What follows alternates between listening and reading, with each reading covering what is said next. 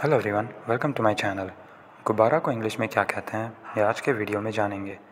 गुब्बारा को इंग्लिश में बलून या एयरक्राफ्ट कहते हैं। एक एग्जांपल से समझते हैं इसे example the child asked his father to buy a balloon यहाँ बलून का मतलब है गुब्बारा। उदाहरण, बच्चे ने अपने पिता से गुब्बारा खरीदने को कहा। इसी के साथ आज के वीडियो में इतना ही। Thank you so much for watching my video